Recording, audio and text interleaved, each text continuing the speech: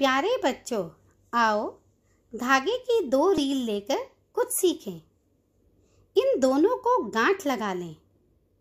अब गांठ वाले बिंदु को आप खुद पकड़ें और अपने भाई बहन को एक एक रील दे दें। उन्हें कहें कि वो इसे खोलते हुए आपसे व आपस में भी दूर हो जाएँ।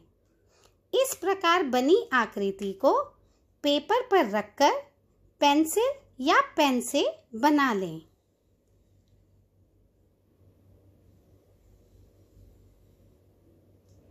यह आकृति कोण यानी एंगल कहलाता है, जिसमें धागे के कोण की भुजाएँ यानी आर्म्स